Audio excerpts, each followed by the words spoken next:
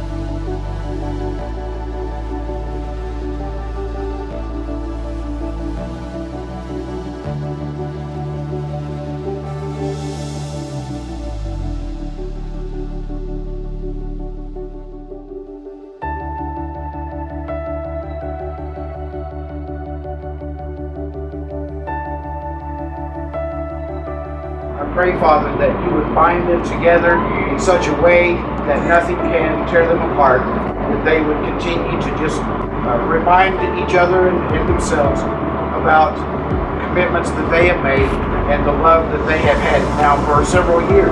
We honor you today in the name of Jesus Christ. Amen. Make you I